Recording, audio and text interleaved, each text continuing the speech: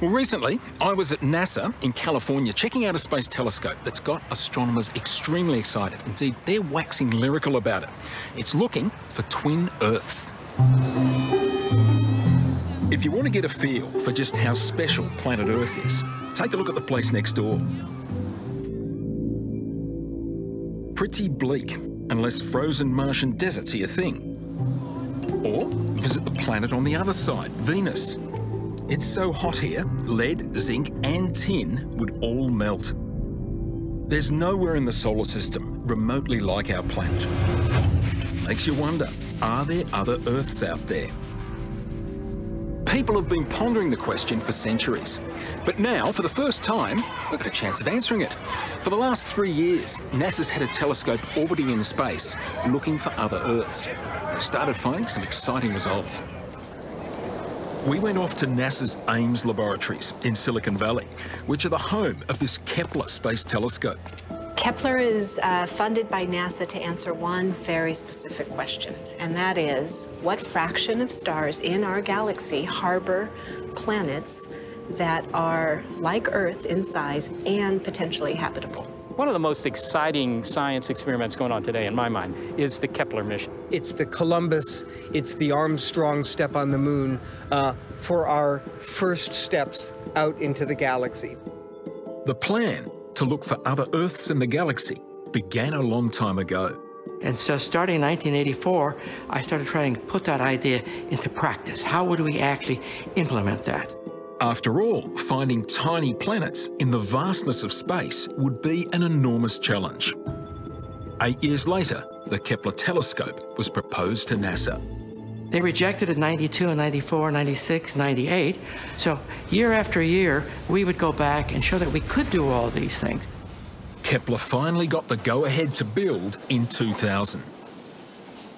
This is the instrument the researchers worked on to develop Kepler. It's basically a replica of the Space Telescope. They shone artificial starlight up from the bottom, through the telescope to the detectors at the top. Now here's the thing. They showed they could detect variations in starlight of 10 parts per million.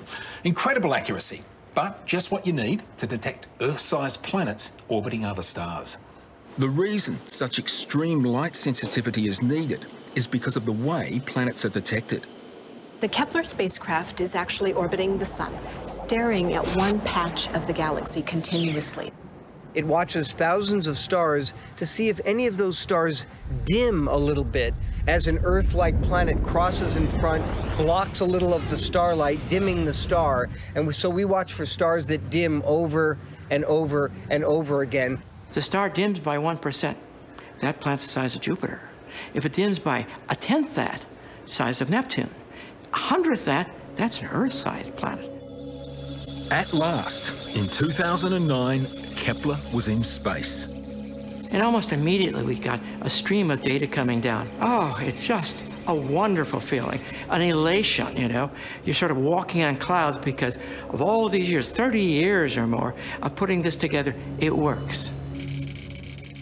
Big planets are easiest to find because they block the most starlight.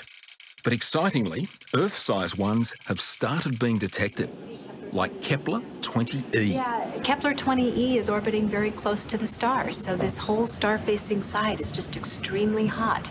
Um, what you're seeing is, is literally a, uh, a lava world, right, where one side is, is molten because of those very high temperatures. And the other side is cold. The other side can be very cold. It depends on the exact orbital dynamics. It's a really wacky world by the sounds of it. It is, that's exactly right, yeah. So wacky, 22E may be Earth-sized, but hardly Earth-like. But Kepler 22b is more interesting.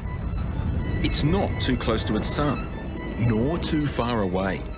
You want the place that's between fire and ice the Goldilocks zone, where we think life could evolve. In the Goldilocks zone, the amount of sunshine hitting the planet is just right. That's going to dictate the surface temperature of the planet. And the surface temperature is important because it tells us whether or not liquid water could pool on the surface. Liquid water is the key because it makes the chemistry of life work. Liquid water takes ordinary carbon-based molecules, ethane, methane, that sort of thing, amino acids, breaks them apart into the carbon atoms, the hydrogen atoms, the oxygen atoms. And once broken apart, those atoms can reassemble into new, more complex hydrocarbons. And complex hydrocarbons are the basis of life.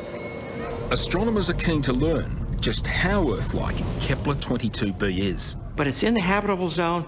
If there's a surface on it, uh, the temperature is pretty much like that of Earth, but a little bit warmer. It'd be a little bit more pleasant there. Of course, it might be a water world, or it might be a gas world. We're not sure. And so this summer, we're trying to make more measurements from ground-based telescopes to see if it has a rocky core or not. But maybe we go there and you find all the life is that is there are fish and whales. Kepler is homing in on its goal measuring the percentage of stars that have Earth-like planets. We'll probably tell you, look, it's going to be somewhere between maybe 0.01% and a, a few percent, okay? Eh, nobody knows yet, but if, if that range is correct, it still means there are hundreds of millions of habitable planets at least. And that's just in our galaxy. If for some reason our galaxy doesn't measure up to your demanding needs for habitability, you know, there are 150 billion other galaxies we can see. So uh, there's plenty of real estate. Kepler's incredible observations are making our vast universe seem a little friendlier.